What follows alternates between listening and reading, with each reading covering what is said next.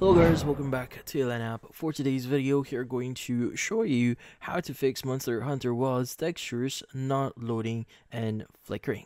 So if you're interested, let's start tutorial. So in this case, if you're having problems with Monster Hunter Wilds textures here and it's not loading properly when you're hunting monsters inside, well the thing with this one is since the game is fairly new or was just recently released, uh, not all PCs can accommodate uh, the uh, required uh, system or the process that is required to run Monster Hunter here uh, quite smoothly. So first thing that you want to do here is you want to make sure that your PC or laptop can actually run Monster Hunter Wilds. So in this case, you want to open up Steam here if you uh, have it on Steam or if you have this on console, uh, either ways here. But yeah, what you need to do is you want to go ahead and go to the very bottom here. As you can see, there's a minimum requirement for PC.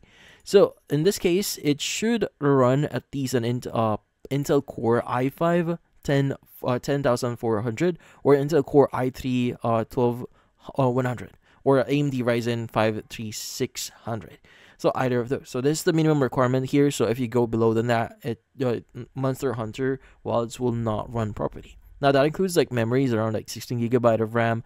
Graphics is the following uh, uh, in this case for GeForce it's around a GTX 1660 uh, it has like v, uh, 6 gigabyte of VRAM for or for or in this case AMD Radeon RX 5500 XT which has a 8 gigabyte VRAM here now, in this case, you need to at least uh, uh, meet the following requirement here for minimum uh, to run the game uh, in its minimum specs. But obviously, you will not get high quality uh, images or uh, textures here for Monster Hunter if you're just running minimum here. It is best if you meet at least the recommended um, requirements here so that your Monster Hunter Wilds would look pretty good or somewhat decent in your PC or laptop.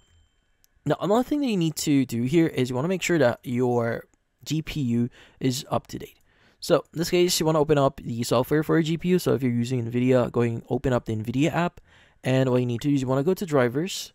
And usually under drivers at the top right here, you should see the download uh, button for it. So usually uh, drive um, GPUs would release updates for certain uh, PCs or GPUs to accommodate newly released games. So they provide support that to make sure you have the latest version of uh, your GPU.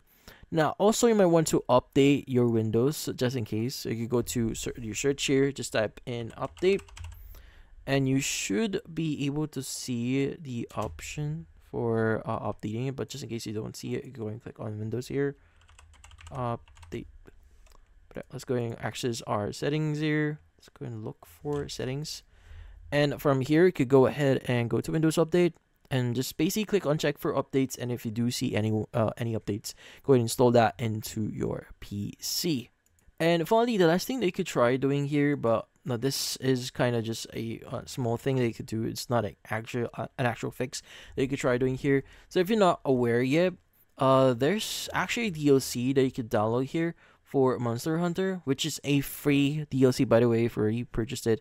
So in this case, they have the high resolution texture pack here. So if you do meet the uh, minimum requirement uh, for the game, you can go and choose, uh, download the high resolution texture pack here. But just be aware that when if you download do download this or add this to your PC, it will re-download the whole game itself so you need to wait like around an hour or two hours in order for it to uh, in order for the download to complete but once it's downloaded you should see a significant boost in your uh, textures here but yeah, so in this case, that's about it. So it, since the game is fairly new, obviously there's not much that we can do here.